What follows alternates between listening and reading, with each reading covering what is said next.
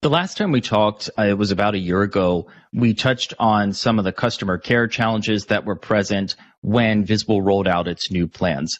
Are you happy with how things have progressed over the past year?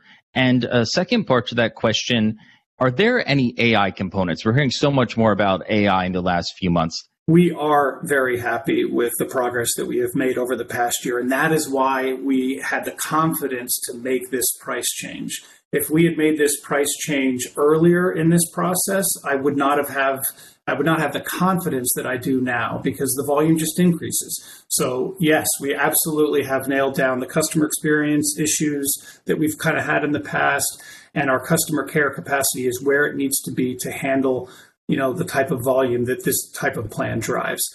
Um, when it comes to AI, you know, the great thing about Visible's business model is, you know, all of our care and all of our transactions are, you know, chat based and, and, and we record them. And so we can see everything and you can let an AI engine into that and it can really help to streamline and create efficiencies in our business. So 100%.